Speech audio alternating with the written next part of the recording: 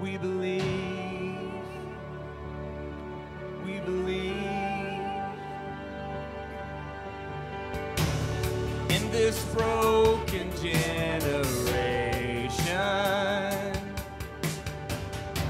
when all is dark, you help us see.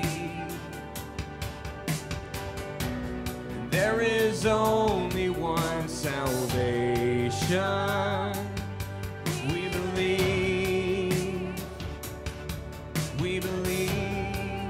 We believe in God the Father. We believe in God the Father. We believe in Jesus Christ. We believe in the Holy Spirit. And He's given us new life. We believe in the crucifixion. We believe that He conquered death. We believe in the resurrection and he's coming back again. We believe. So let our faith. So let our faith be more than anthems, greater than the songs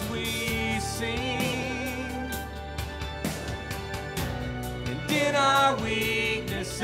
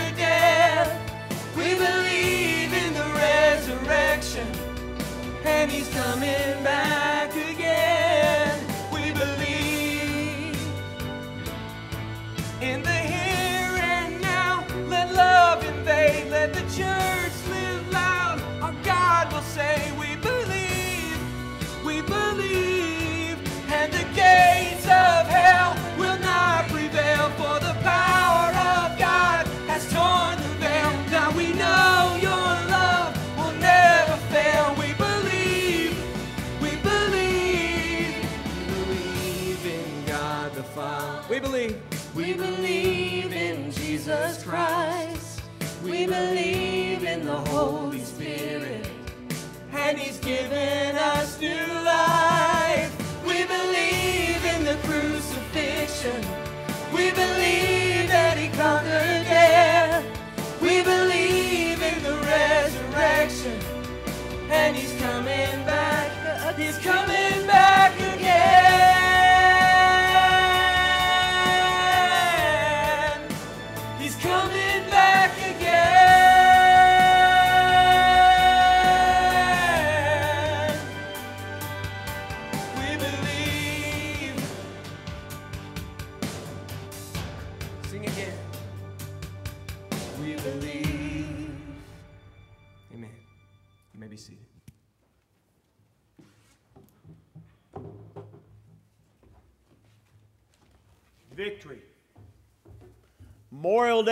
about the sacrifice made so that victory could be won. I want to turn your attention to a Memorial Day passage of Scripture. You may not know it's one, but it is one. Not our Memorial Day, but one of Israel's Memorial Days. Joshua chapter 4. Joshua chapter 4, we're going to look at the first seven verses of Joshua chapter 4. And it came to pass when all the people had completely crossed over the Jordan that the Lord spoke to Joshua, saying, Take for yourselves twelve men from the people, one man from every tribe, and command them, saying, Take for yourselves twelve stones from here, out of the midst of the Jordan, from the place where the priest's feet stood firm. You shall carry them over with you and leave them in the lodging place where you lodge tonight. Then Joshua called the twelve men whom he had appointed from the children of Israel, one man from every tribe. And Joshua said to them, Cross over before the ark of the Lord your God into the midst of the Jordan, and each one of you take up a stone on his shoulder, according to the number of the tribes of the children of Israel, that this may be a sign or a memorial among you when, you when your children ask in time to come, saying, What do these stones mean to you? Then you shall answer them that the waters of the Jordan were cut off before the ark of the covenant of the Lord when it crossed over the Jordan, the waters of the Jordan were cut off, and these stones shall be a memorial to the children of Israel forever. As Marshall put it so eloquently, really, he exceeded what I had asked him to do, and I just moved by how he shared what Memorial Day means to him. A lot more a lot more uh, personal than I could share with you um, because my military experience is zero. Uh, but this is a weekend that was intended by Congress in 1971 when they made the fourth Monday of May an official national holiday for memory of those fallen who had sacrificed their lives for our freedom. This was intended not to be a weekend that, as I grew up remembering it, the weekend of the big race, the Indy 500, already started. Uh, it's, it, it's not a weekend that was intended to be a weekend for uh, cookouts and the, the unofficial start of summer, if you will.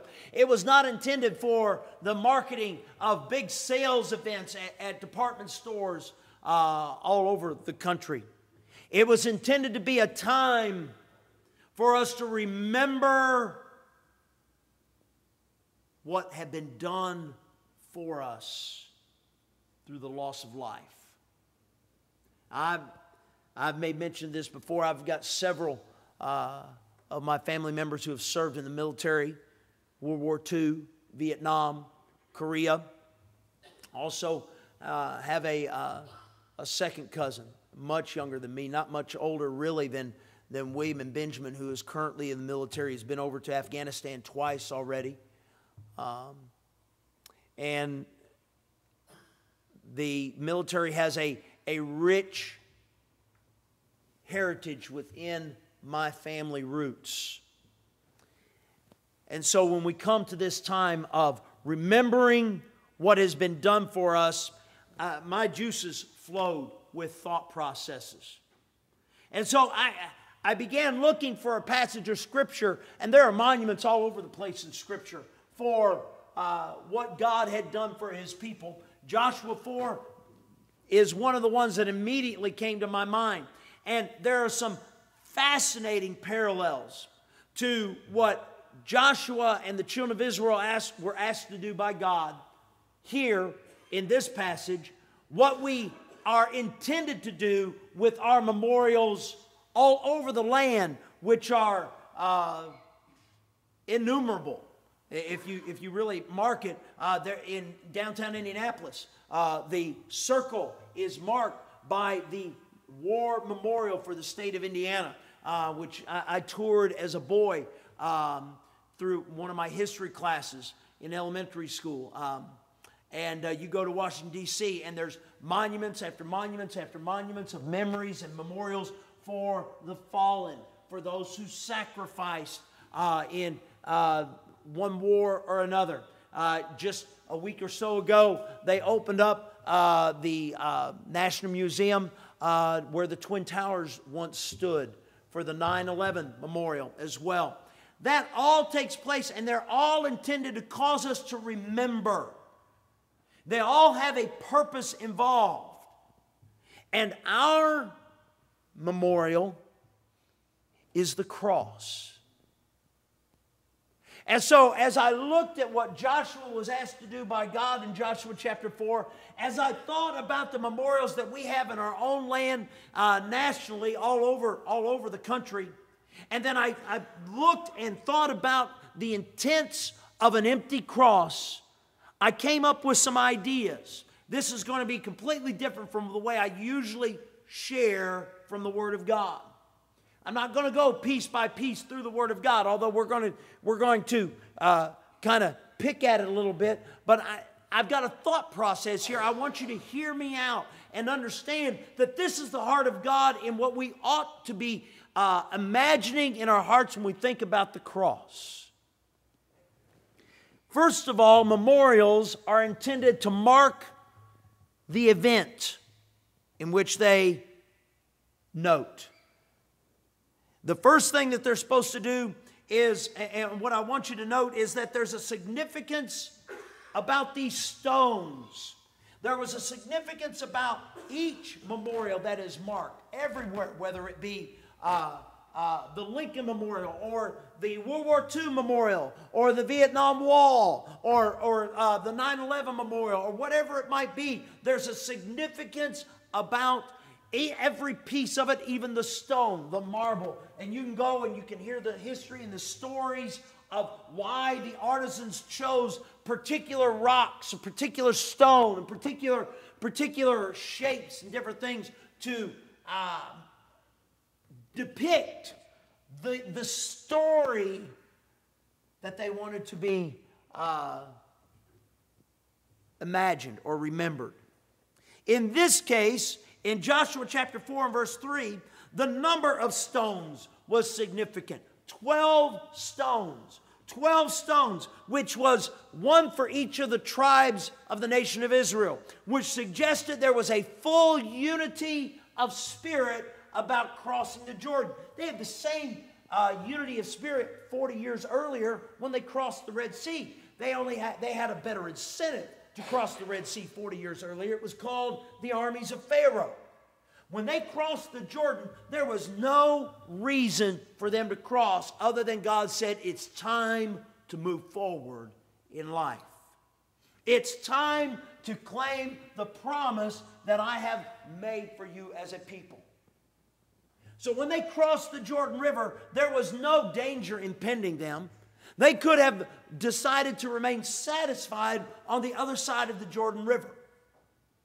But they didn't. They crossed the Jordan River and they crossed it as a nation, all 12 tribes, even though two and a half tribes had already asked and received permission from Moses and God to receive their inheritance on the side that they were already on because of the type of land that it was, because of the kind of shepherding uh, that they did in those two and a half tribes. So, so these, these individuals, these, these tribes, as one, as one nation, 12 individual tribes, as one people, decided to cross the Jordan River on the dry ground.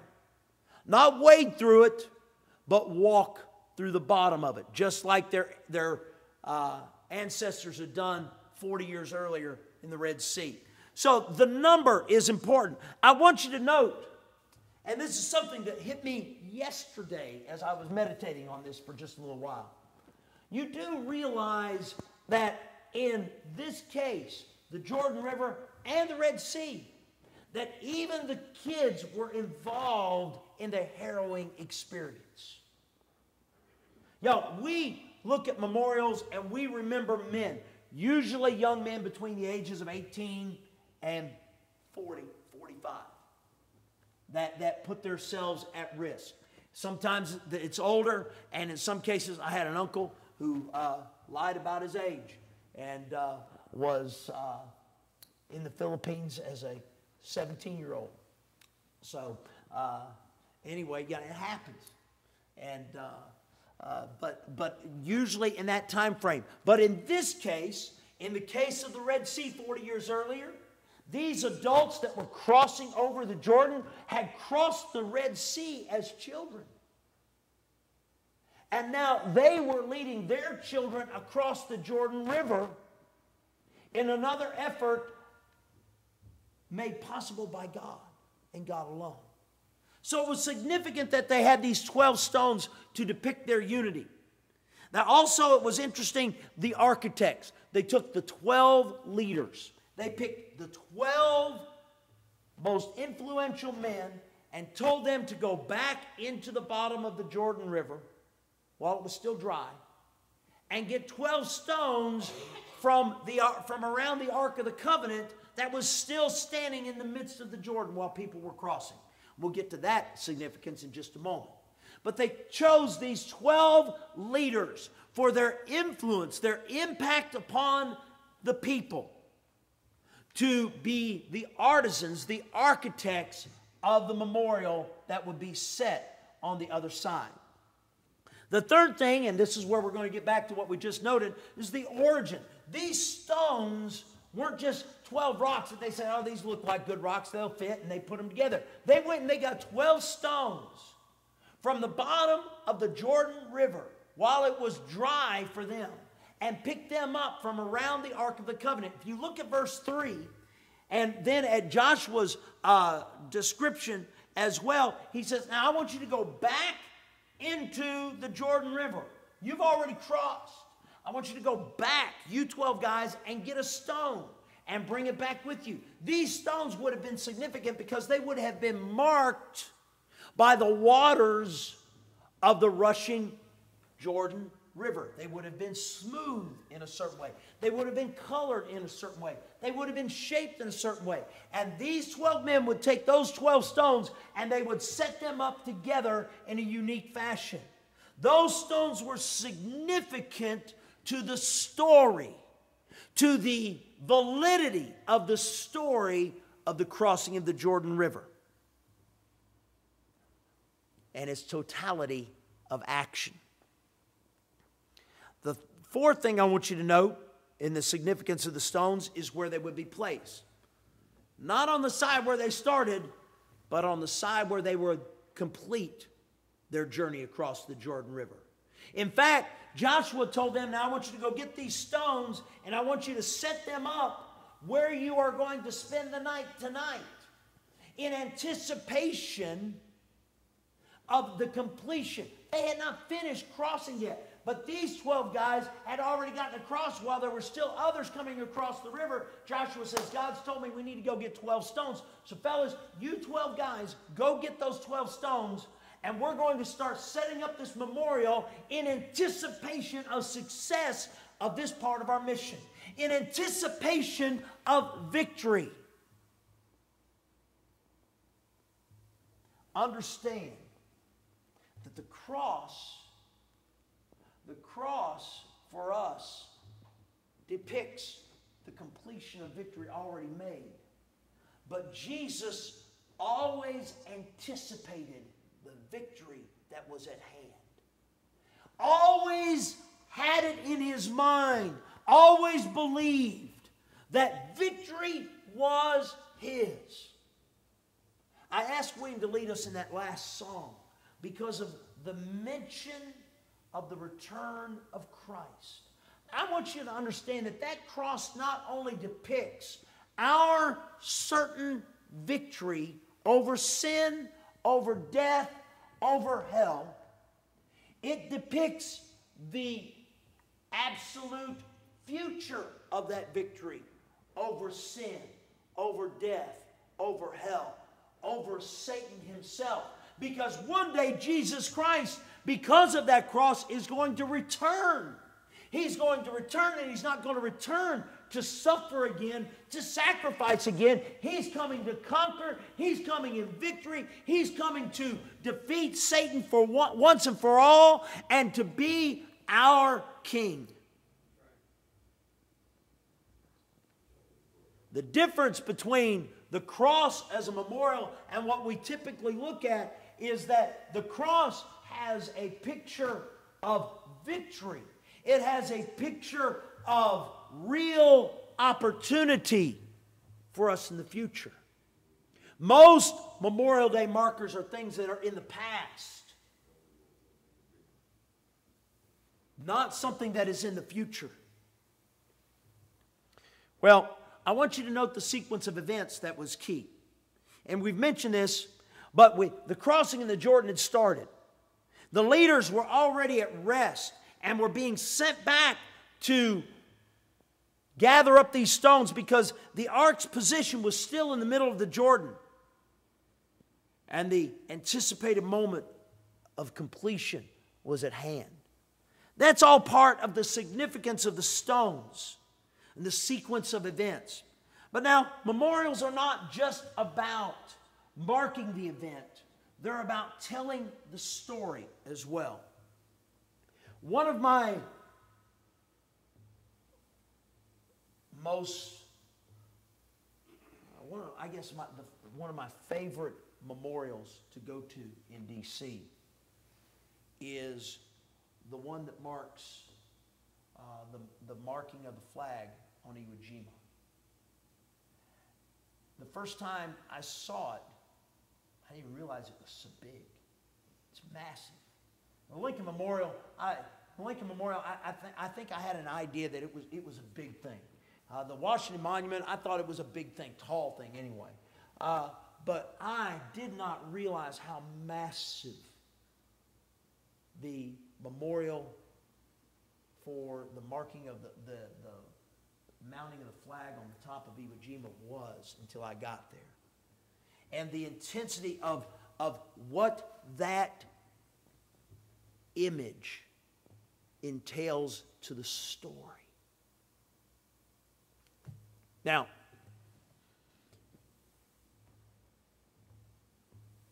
if I had a wish about what Marshall had shared, I wish I had been able to put in my mind's eye an image of what he was talking about. You could see he had an image of what it was being ta- what, what he was talking about. Uh, and to be real honest, I, you know, planes are not my thing, so the difference between a, uh, a C-130 and a C-17 or whatever it is, I'm clueless. They're big planes, okay? Okay? And, and uh, uh, Marshall flies them, and the best I could ever do is ride him one. All right? And uh, it would not be smart to do it the other way around.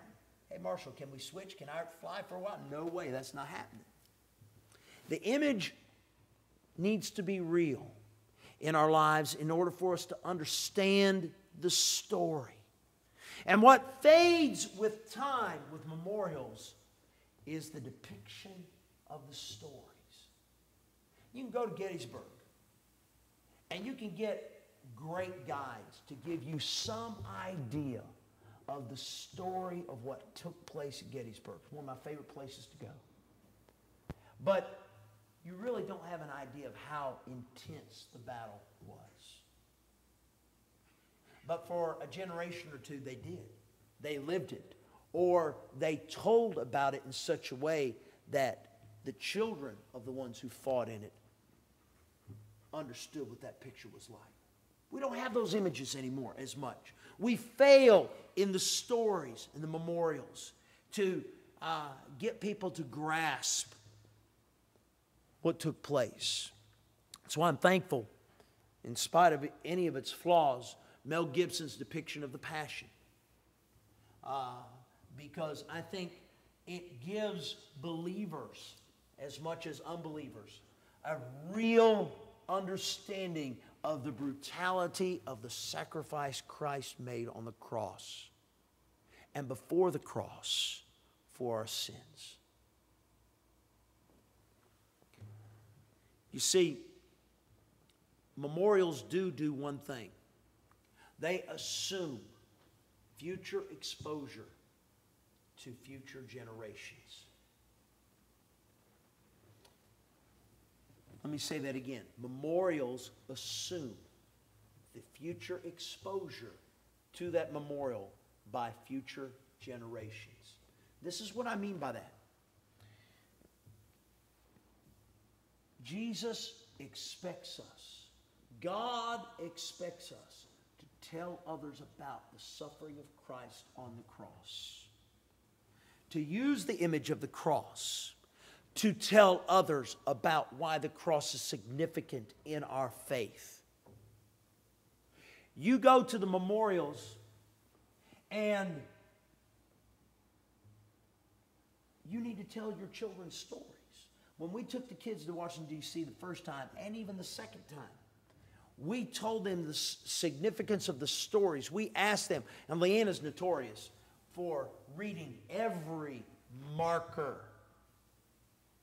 That's why we don't take her to the Smithsonian Institute when we go, because we would still be there. Uh, because, eh, but, but she wants to know the story so that she can share the story with others, which is a good thing. You see, when you look at a memorial, when Joshua and the children of Israel looked at these stones, when we look at uh, the memorials around the nation about our fallen heroes, when we look at the cross, we need to understand that there was risk involved. The risk for the children of Israel was first started by the priest who had to put their toe into the water before the rivers, the waters of the River Jordan would separate with the Ark of the Covenant in their hands. There's a risk involved. There's a risk for every soldier who goes into battle that is marked by the memorials. The tomb of the unknown soldier is a memorial that we need to remember. Marks the unidentified remains of individuals who put risk ahead of their own safety, who put freedom ahead of their own value so that we might have freedom in this land. Risk is a huge part of every story behind every memorial. The faith that we have to have in our position with God in order to be put in the place where God wants us to be. The courage to act on that faith so that when we serve God in a real way, we understand the risks that others took so that we might be able to live and be what God wants us to be for His kingdom where we are. I will never, well, I shouldn't say never. I don't anticipate ever being asked to serve in the military. I don't ever anticipate asked to be served to give my life for my country, am I? Marshall has. Others have. And I want you to understand that there's a certain amount of courage that it takes to act on faith in something that you believe in. Jesus did that when he asked the Lord at Gethsemane, Garden of Gethsemane. Lord, I know that you can do this differently. But if this is the lot you have cast upon me, if this is the cup that I am to consume and partake of, let your will be done, not mine. I'll go to the cross. You see, not only do you have to have faith in the uh, mission and courage to act on that mission. You have to have a determination to finish. Jesus declared, It is finished. Father, into your hands I commend my spirit. He finished the task. There's a, determination that needs to happen.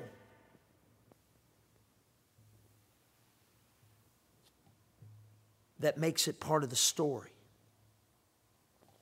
I got a letter. I get Samaritan's Purse letters all the time because uh, we've given through Operation Christmas Child and other things. This letter from Franklin Graham is a reminder this Memorial Day of an enemy soldier. This guy's name, you might remember the story, Hiroo Onoda. Hiroo Onoda was stationed on the island of, let me see, uh, Lubang in the Philippines shortly before the end of the war. He was commissioned by his captain. No matter what, under any circumstances, you are to not do certain things. You will never surrender. You will always fight. You will always take care of the emperor's rule.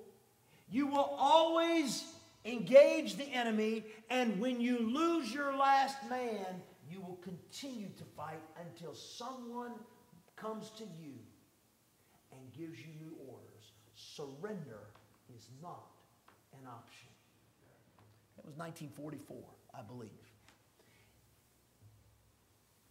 31 years later, Hiroo Onoda came out of the hills of Lubang in the Philippines, having been fighting the war for the, the uh, Imperial Army of Japan for 31 years after the treaty had been signed. They forgot about it. The only reason they could get him to come out, they kept having this guy that would do things, you know, guerrilla warfare and stealing things and uh, bombs and different things like that, all, all kinds of small things, but the best that he knew how to do, Hiroo Onoda, was continuing the fight that he had been commissioned to fight with determination. When they figured out who it was, they went and found his captain.